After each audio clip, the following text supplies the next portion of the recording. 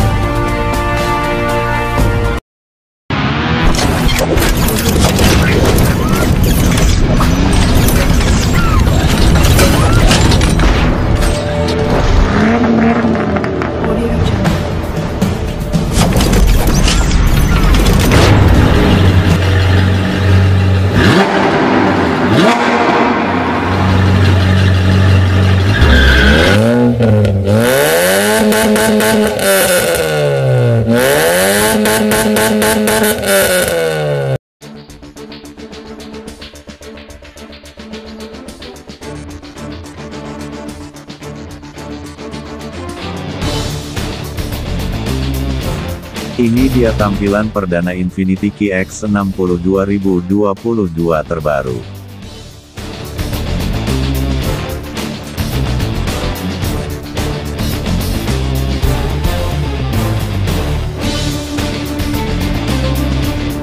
Lihat interior, desain eksterior, fitur, keamanan, teknologi, dan detail lainnya di video ulasan ini.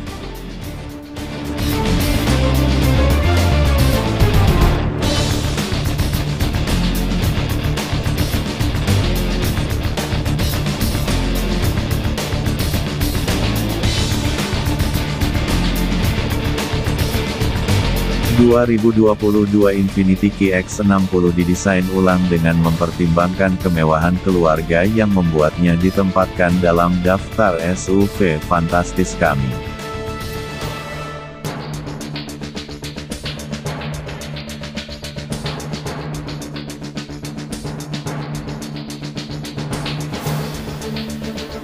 Desain ulang eksterior dan interior membawa QX60 2022 kembali ke mode dan menjadikannya sebagai pengangkut keluarga yang berguna. Harga belum tersedia, tetapi model baru diharapkan keluar pada akhir musim panas.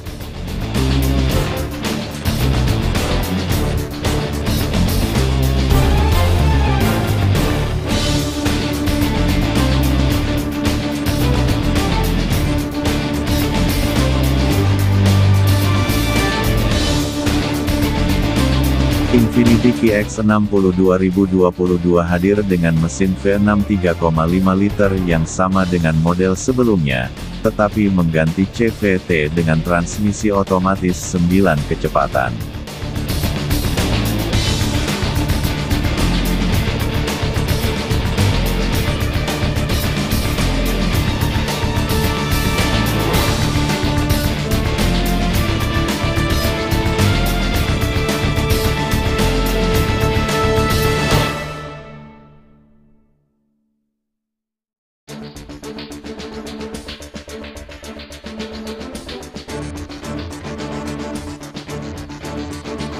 Infiniti telah menggoda peluncuran 2022 QX60 yang didesain ulang selama lebih dari enam bulan dengan mengintip interior kulit yang modis, janji transmisi roda gigi untuk menggantikan CVT, dan konsep yang elegan, QX60 monograf, yang memperjelas QX60 yang masuk akan lebih lebar dan lebih mengesankan daripada model yang keluar.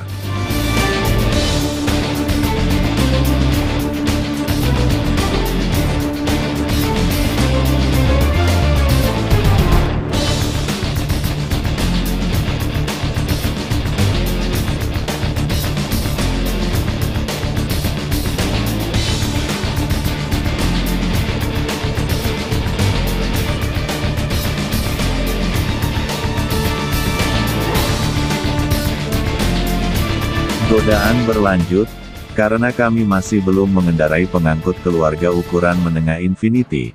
Tetapi sekarang setelah kami melihatnya di lembaran logam, kami dapat melaporkan bahwa penggemar QX60 sebelumnya akan menemukan versi baru lebih nyaman dan lebih bergaya, dengan banyak detail cerdas, baik estetika maupun berguna.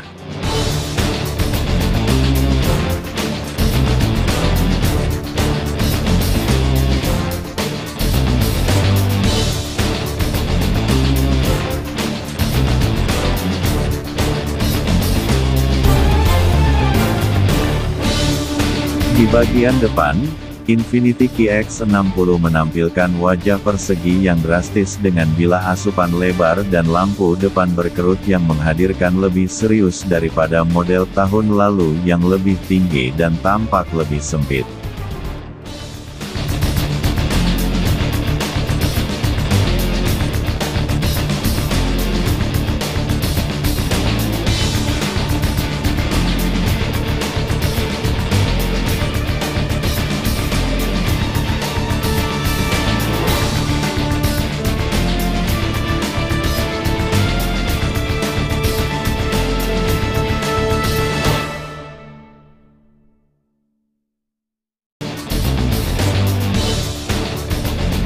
Kisi-kisi jala lengkung ganda yang baru terinspirasi oleh origami Jepang, dan di bawah lencananya terdapat huruf timbul infinity.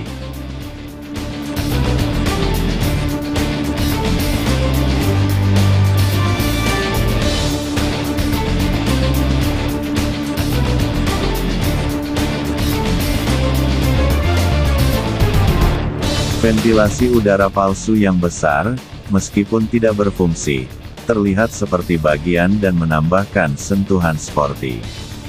Di bawah kap besar adalah V6 3,5 liter yang disedot secara alami sama dari QX60 sebelumnya, menghasilkan 295 tenaga kuda.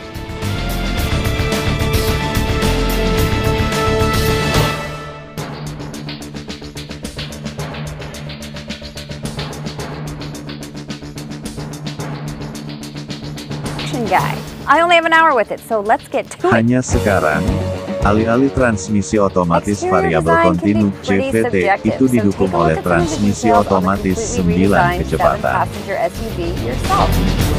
New profile, new grille and LED piano headlights, new lower stance, and those cool taillights in the monogram. Jika eksterior telah berubah serius, interior QX60 baru tidak dapat dikenali.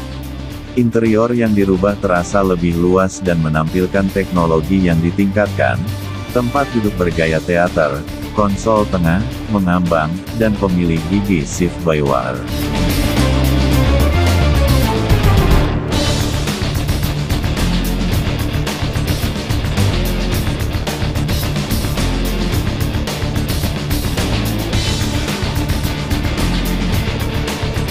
Kontrol HVAC baru lebih ramping dan menggabungkan penginderaan kapasitif dengan umpan balik haptik. Layar sentuh 12,5 inci, kursi depan berpemanas 8 arah yang dapat diatur dayanya, moonroof panorama, kontrol iklim otomatis trizona, Apple CarPlay nirkabel, dan Android Auto adalah standar di setiap QX60.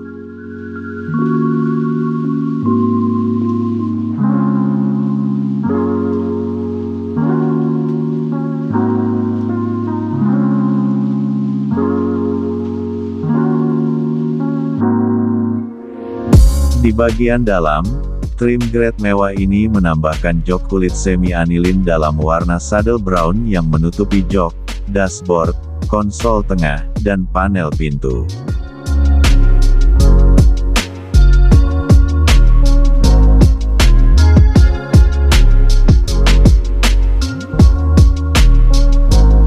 Detail menarik termasuk pola kursi berlapis berlian, pipa kursi putih, dan jahitan ganda di kursi baris depan dan kedua. Selain itu, model autograph mendapatkan kursi kapten baris kedua dengan konsol tengah yang dapat dilepas, sound system Bose Performance Series 17 speaker, kursi depan berventilasi dengan fungsi pijat, trim kayu berpori terbuka, dan pencahayaan sekitar.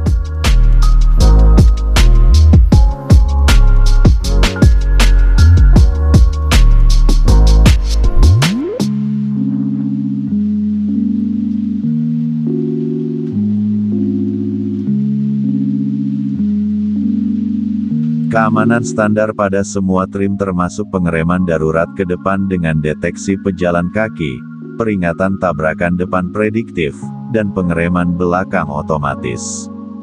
ProPilot Assist yang disempurnakan dengan sistem Naviling, kluster instrumen 12,3 inci yang dapat disesuaikan, dan layar head-up 10,8 inci tersedia di grade tertentu.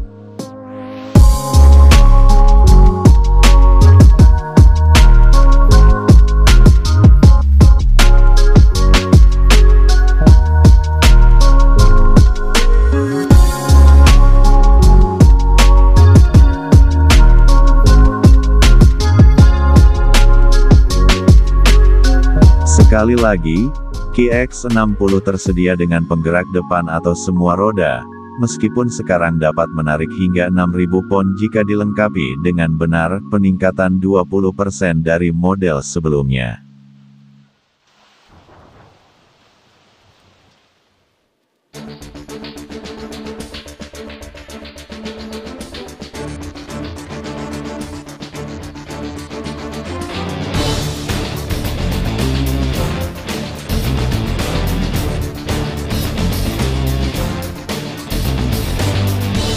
Tersedia di semua level trim, sistem intelijen all-wheel drive memberikan traksi ekstra dalam kondisi licin dan dapat mengirimkan hingga 50% torsi engine yang tersedia ke roda belakang saat slip.